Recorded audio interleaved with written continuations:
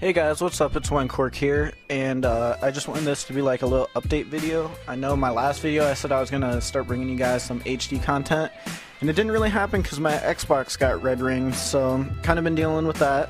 But I started getting back into Black Ops recently. I've been playing on my roommate's Xbox, and uh, so far I've been playing pretty well. My kill to death and team deathmatch is over three and a half, and that's with some pretty bad games. So uh, as for the YouTube channel, I am gonna start doing like a little series or whatever you want to call it, and it's where I basically what I'll do is I'll use a program and download like famous comment commentators' YouTube videos, and then I will rate their play uh, unbiasedly and uh, kind of like rate them out of ten and uh, I guess this is like a little intro to my series. What I'm get, what I'm gonna try to do is do like three of these uh, series videos a week, and then maybe one HD and one standard definition video of mine a week.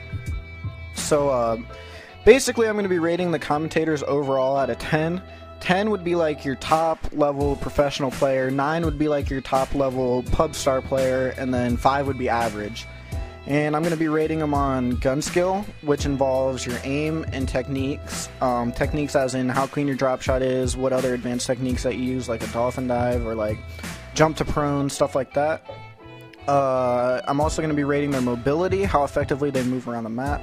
I'm going to be rating their exposure, and what I mean by that is uh, how little they're exposed to the enemy. Um, basically, the most important part of Call of Duty is remaining not exposed to where enemy fire can come from. And if you are exposed to enemy fire, you should already be aiming down your sights or prepared to prepared to take them on. Uh, then I'm gonna rate their awareness of spawn points and enemy location, and then finally I'm gonna rate their setups, class, and kill streaks.